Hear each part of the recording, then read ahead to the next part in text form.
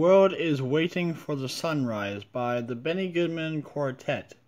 Even though there's like eight people and none of them are singing.